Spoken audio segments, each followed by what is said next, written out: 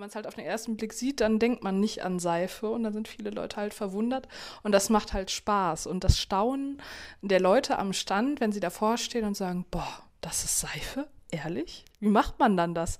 Und auch dann dieses Nachfragen, wie man darauf kam, wie man da hinkommt oder auch die Technik halt, wie man das überhaupt so hingekriegt hat. Also ich mache es natürlich in erster Linie, weil es mir Spaß macht. Die Herstellung ist die, die größte Freude, weil das so kreativ ist, weil man hat halt mehrere Ebenen. Ich habe ja einmal die Farben, mit denen ich spielen kann, dann habe ich die Formen und ganz, ganz wichtig, der Duft natürlich. Ne? Ich kann verschiedene Düfte mischen und mit, aus den drei Komponenten hat man unendlich viele Möglichkeiten, was man damit machen und anstellen kann.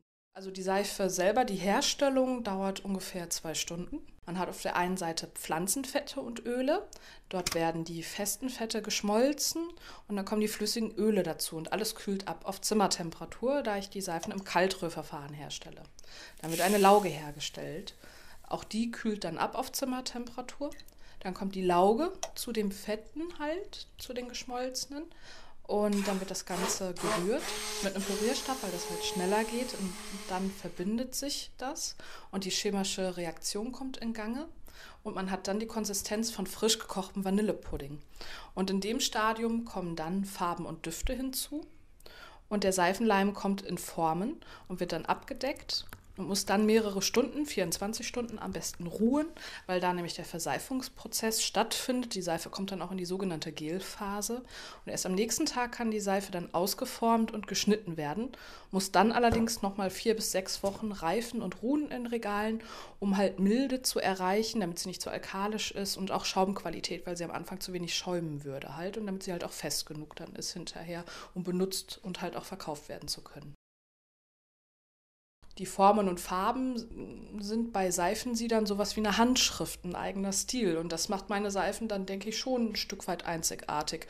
Weil selbst wenn ich was sehe und das auch machen möchte, sieht es bei mir dann doch wieder anders aus, einfach weil es halt mein eigener Stil und meine Hände sind, mit denen ich das mache. Meine Sachen sind dunkel, bunt angehaucht, gehen so ein bisschen ins Fantasy-mäßige, ins Mystische oder halt auch ganz verspielt. Ich mag sowieso generell nicht so Sachen, die so normal aussehen und mag gerne ausgefallene und außergewöhnliche Sachen. Sachen. Zum Sommer jetzt hatte ich zum Beispiel auch eine Cocktail Collection, ähm, halt sommerlich, weil es sollte ja erst am Anfang nicht so richtig Sommer werden.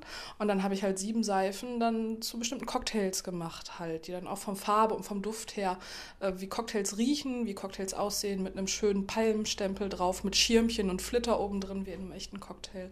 Und das ist mit den Cupcakes halt auch, die mache ich schon sehr lange. Und dadurch, dass die halt aber jetzt im Moment äh, generell so ein bisschen in Mode kommen, bekommt das irgendwie auch mehr Aufmerksamkeit meine Cupcakes grundsätzlich auf Regalen oben stehen, weil mir auch schon mal ein Kind wirklich reingebissen hat in einen Cupcake. Es war auch, der roch auch noch nach Schokolade. Es war also wirklich sehr gemein.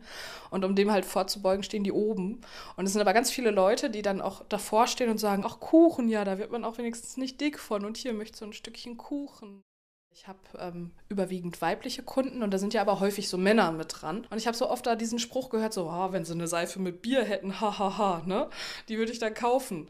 Und da habe ich gedacht, so, dann gibt es jetzt eine Bierseife und die ist auch richtig gut angekommen dann tatsächlich auch, weil halt viele das als Gag dann auch gesehen haben und mitgenommen haben.